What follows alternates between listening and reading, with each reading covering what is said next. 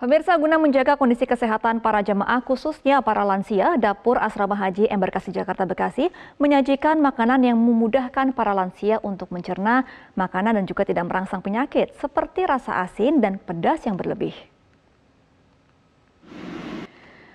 Seperti inilah kesibukan Dapur Haji Embarkasi Jakarta Bekasi yang tengah menyiapkan ribuan paket makanan bagi para jemaah calon haji setiap harinya.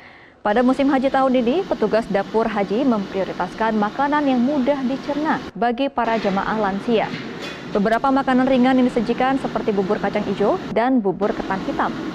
Sementara makanan berat di antaranya sayur mayur dan lauk pauk yang rendah lemak dan mudah dicerna. Bagi calon haji yang hendak memesan makanan tertentu dengan alasan kesehatan dapat mendatangi petugas dapur haji.